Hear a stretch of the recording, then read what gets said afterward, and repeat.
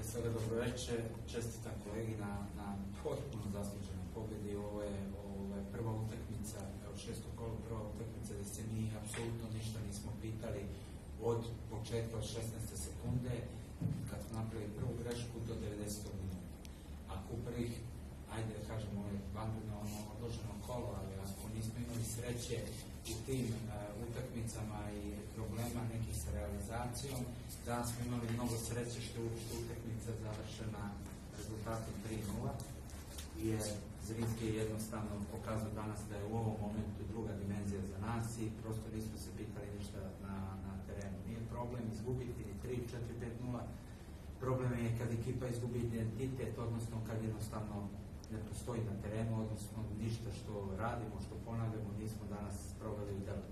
Meni je drago samo što je ovaj, ovo dete na golu Manojlović koji je 2002. godište, danas naš golman koji brani prvo kola, još jednom pokazao da nisam pogrešio kad sam ga prvo kolo stavio na gol i sigurna je perspektiva ne samo bosansko-hercegovačkog futbala, nego i na mnogo većem nivou.